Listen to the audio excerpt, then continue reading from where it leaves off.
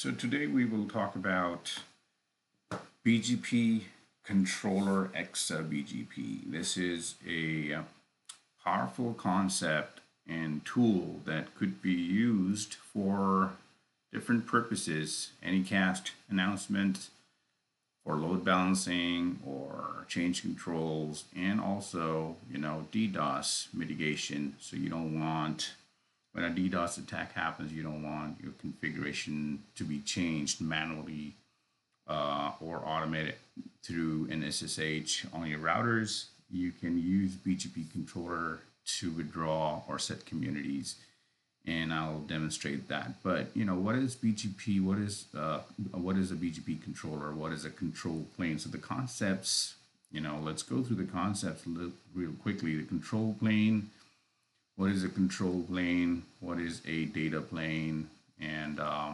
now uh, management plane. These are simple concepts, but uh, management plane is obviously something that you are connecting your devices with a management interface and you're not using the in-band. So if you're using this interface uh, or any of the data plane interface for your management, which a lot of people do, uh, that's you know that's not separation of the you know management plane. You use a separate interface uh, for management, and there's like a separate switch that you uh, coming through to control it, so that if you're making changes and something goes wrong, you don't lose connection. All right, so um, let's talk about control plane. Control plane is essentially, if you look at how OSPF works, right? Uh, control plane and data plane. We just talked about management plane. So OSPF would connect and make neighbors on the interfaces, right? So it's using the data plane. The data plane is essentially where the data flows. So when, when the traffic comes in, it flows on these interfaces, on these wires. That's your data plane. OSPF uses data plane to make its routing tables create neighbor relationship. It, it cannot, it does not have the capability of a separation of control planes. So the concept of separate, you know, uh, control plane is, is what makes BGP unique uh, BGP gives you the ability to have a separate control plane. So that's called separation of control plane. So this is what this diagram basically exactly, this setup basically illustrates that.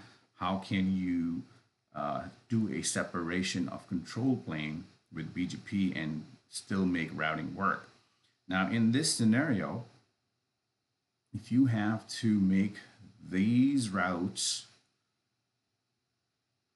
introduced into this AS and V1 to reach, the V1 router to reach these routes, in a typical scenario, you're going to have you know either a static route or an OSPF configured, advertise these, or even BGP configured, create neighbor relationship, use network commands to advertise. He's going to learn, he's going to advertise, and all that. We're not going to do any of that. Uh, in this setup because we are using a BGP controller who is going to inject these routes. He's going to inject these routes.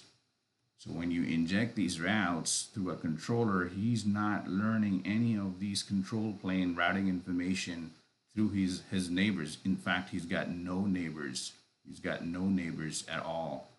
Uh, he's only talking BGP to him, the outside world, and he's talking BGP to the controller. This is our controller. And good thing about these controllers is they are open source and free. You can download and play. I have this controller installed on CentOS. I'll show you uh, what steps are required to do that. But that's the concept of separation of control plane, data plane, and management plane. I hope this is clear. Now, in this setup, just imagine this is an ISP and the traffic is coming in and you're you're basically injecting or introducing these routes in, into this guy. And like I said the typical way is to use network command with BGP neighbors and all, all of that. I've got a video on OSPF BGP how to do that. You can look them up. But here I'll show you V2 configuration that I've got only this guy as BGP and I've got only this guy as a BGP peer. And it doesn't have to be one hop away and in my setup it is. I just, you know, you can connect it directly. but in obviously my control plane now is through this route and my data plane is this route. Okay. Now I am going to introduce these routes, withdraw these routes, set the next hop to 2304 or 2303, and based on what I tell this router from this controller, the traffic will flow accordingly, right? Okay, so let's do that. Let me clear this up. And bring in the router, so I'll bring in this router here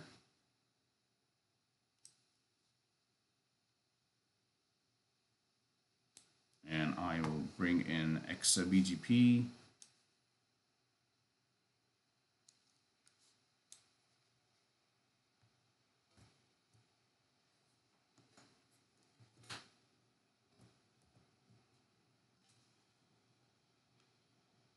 and I will bring in V. Uh, I will bring in this guy V2.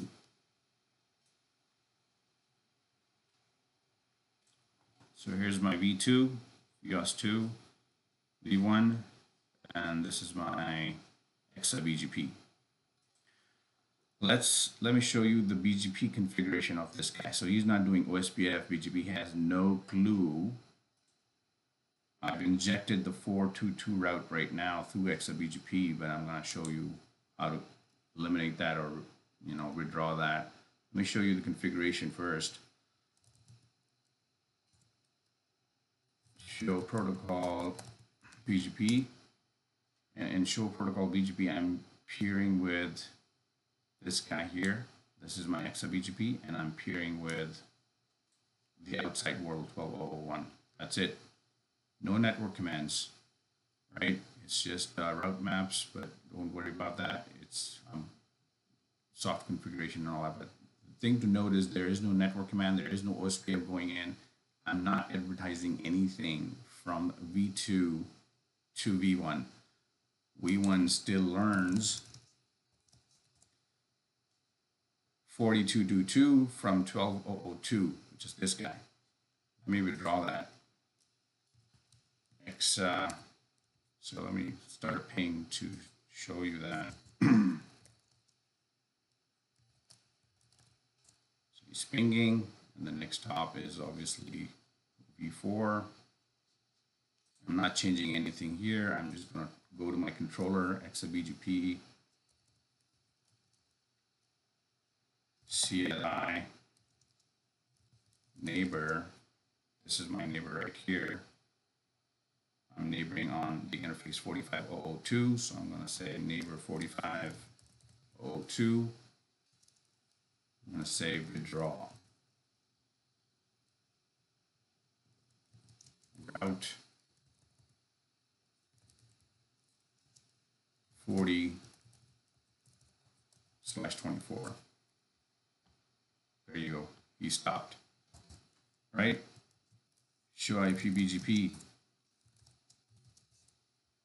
Uh, that route disappeared. Right? I didn't touch this guy. I didn't touch this guy. No, nothing. Show IP BGP. See that? It's gone. Let me introduce it. Uh, it was going to four, let me put it on three. So I'm going to say ExaBGP CLI neighbor 45 announce route 4222 slash 24 next hop. You got to specify the next hop.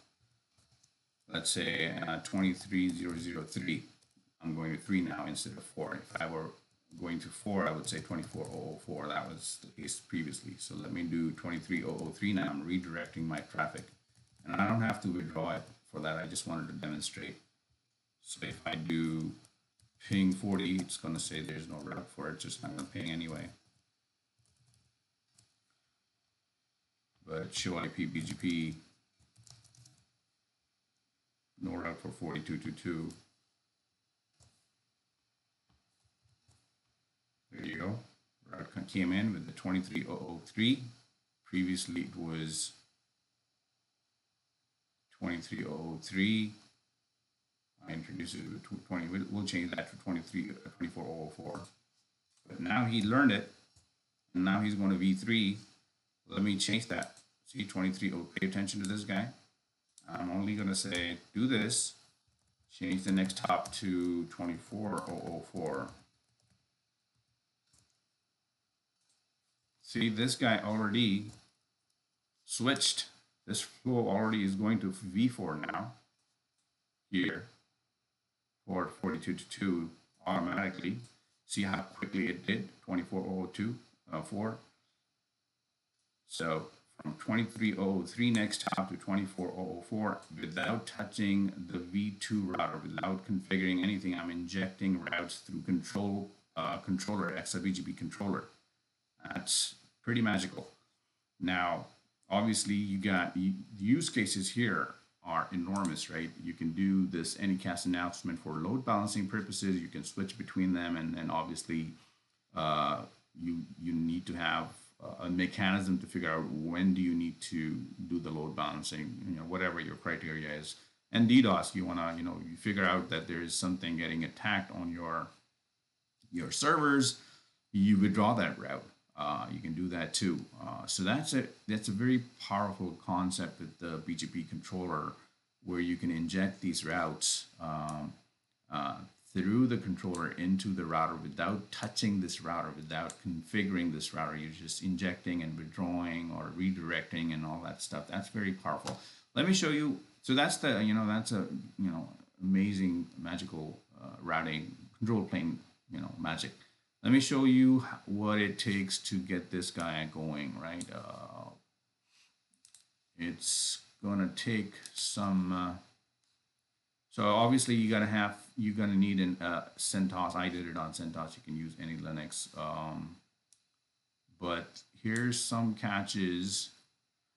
Once you install the ExaBGP through pip command, pip install ExaBGP. So if you don't have pip, you're gonna do yum install pip and then pip install ExaBGP.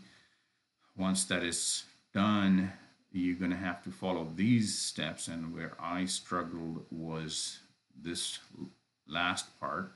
When you do the make FIFO run ExaBGP in and out and change the uh, permission to 600 for these files for both the files it still would not work until uh, you do the nobody thing uh, you know change owner nobody to for these files and for me, it was probably the reason because I'm using root. Uh, if you're not going through as root, you probably would not see it. But if you do see that it's not coming up, uh, you can run this change owner to nobody for these two files that are under the this directory. So once you do that, uh, they're going to look like this, nobody for these two files. And these are, you know, uh, pipe files FIFO files. So they're not ordinary files. So you have to use this command, command make FIFO run under the run directory. And once you're done, you can run ExaBGP. And the way you're going to run ExaBGP is like this.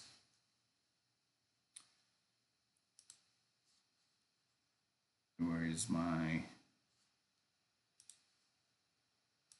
So here's my ExaBGP. So in the ExaBGP directory, I've got a couple of scripts, but this is the config ini file that you're gonna use. Very simple, peering with uh, my neighbor, my router address. You put a router ID for your controller, your local address, your local AS, and the peer AS. Now let me kill this guy and show you how I started. pskill dash 9 exa. Let me show you that it's running in the background. Uh, there it is, ExaBGP, it's running. Okay. So pskill dash 9 ExaBGP. it's pkill, I think. Skilled.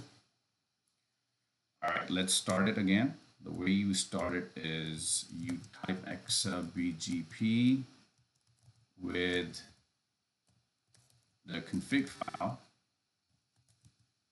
and then you to stay on the on the prompt to get the prompt out you just use the percent sign so it runs in the background now there you go and once you do that you should not see any red uh, text or anything everything looks good and you're in business now let's withdraw that out here it's running 4222 uh, it lost the neighbor, so it's lost. When when the BGP controller got killed, it it basically withdraw the route automatically. So let's introduce it. X uh, BGP CLI neighbor 45002 announce keep uh, keep an eye on this.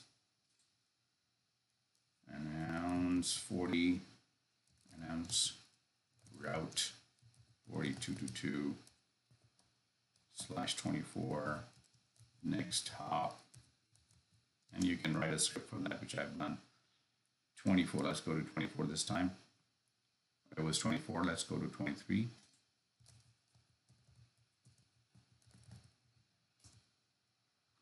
and if everything looks good you're back in business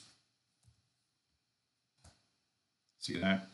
So that's a, you know, if you if you can um, get this thing to work, it's something that's going to be uh, an advanced part of routing. You can also set communities, by the way. Um, you can set communities to be sent out show IP BGP, and if you look at the uh, prefix that's coming in, show IP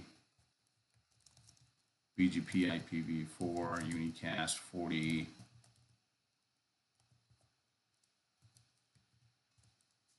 It's got no communities. Let's set the community to this guy. Community, let's call it 2555. There you go.